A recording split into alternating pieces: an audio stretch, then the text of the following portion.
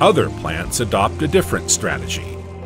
They equip themselves with an impermeable cuticle to reduce water loss, or specialized openings to maintain gas exchange. These features enable them to withstand a long period without water.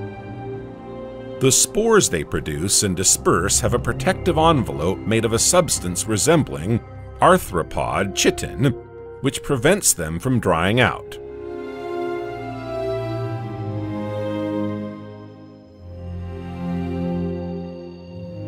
These first plants have a more or less similar appearance.